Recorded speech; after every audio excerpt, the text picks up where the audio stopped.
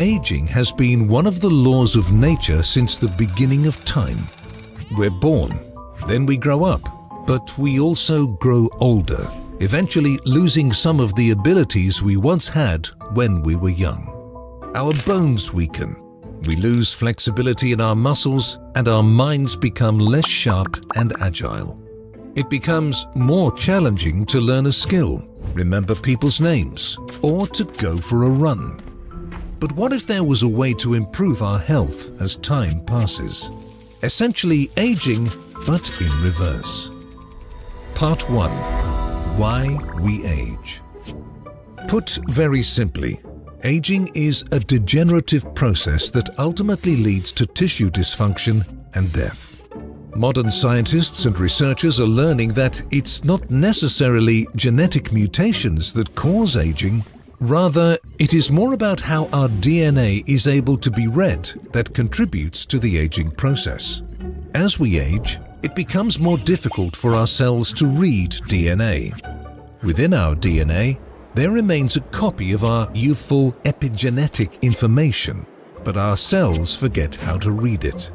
There is a backup copy of software within the gene that can be reset.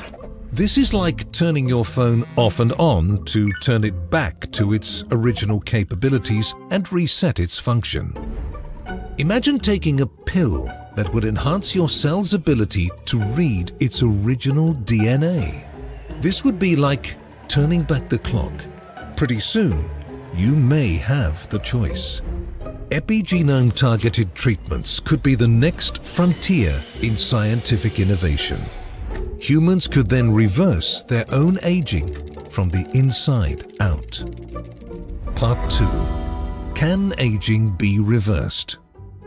You may be familiar with the short story The Curious Case of Benjamin Button by the American author F. Scott Fitzgerald, or the Brad Pitt movie of the same name where a man was afflicted with the condition of aging backwards.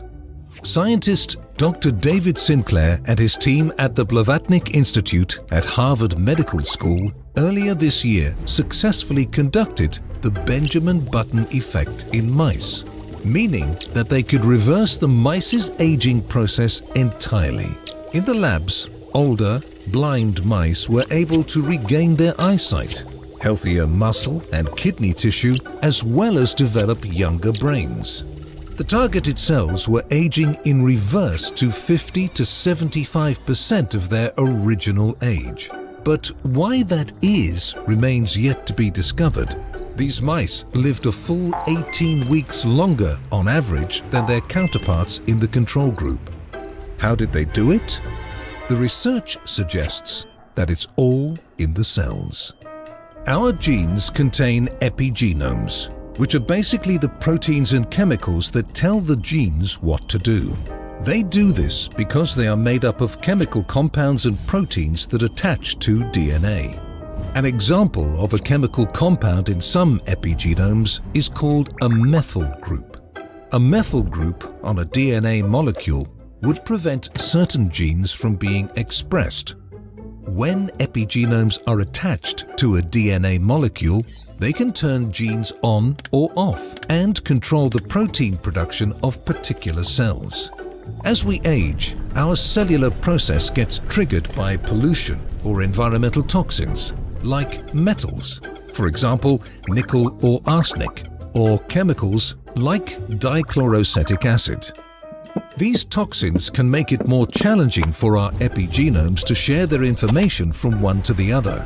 This is because the toxins create changes within the epigenome which causes them to malfunction.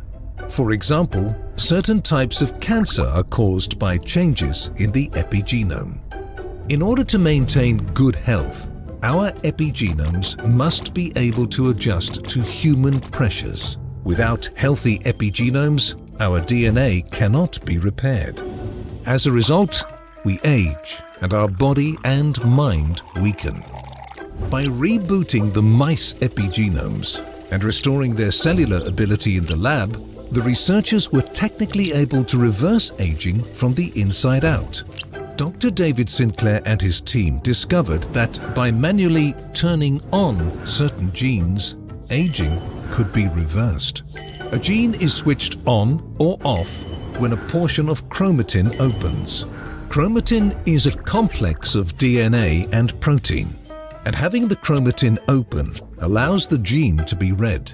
When the genes are able to be read, the aging process can then be slowed down. In this study, the researchers found that by turning on three Yamanaka factors, a group of proteins within a gene that help control how DNA is copied, the mice were safely able to reverse their aging by 50%. Meaning, the mice were able to go back in time to half their age on a cellular level, remain in that state, and ultimately live much longer than they would have naturally. Part 3 how can we live longer, perhaps forever? How to live longer and possibly forever has been a topic for scientists and researchers since the dawn of humankind. Up until now, the record for the longest lifespan is 122 years, reached by a woman from France named Jeanne-Louise Calment, who died in 1997.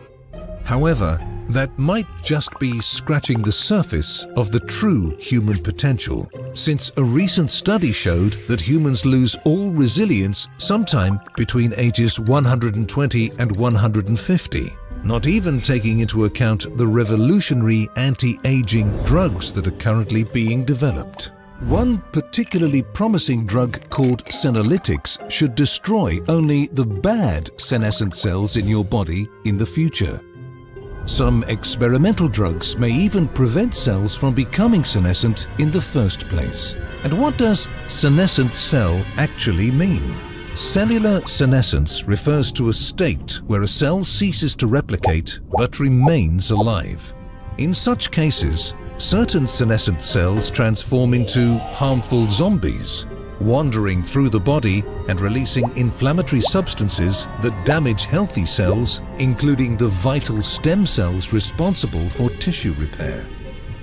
However, it's worth noting that not all senescent cells have negative effects. Dr. Paul Robbins explained that some of these cells release beneficial chemicals that aid in the process of wound repair. As individuals reach the age of 60, the human body, especially the immune system, faces increased challenges in effectively eliminating harmful senescent cells. This accumulation can subsequently trigger tissue damage and failure. However, if the Benjamin Button effect on the mice in the lab is any indication, humans may have the ability to slow down aging sooner than we think billions of dollars are being poured into research that would enable humans to turn back the clock as we speak. So the question remains, how badly do we want to be young again?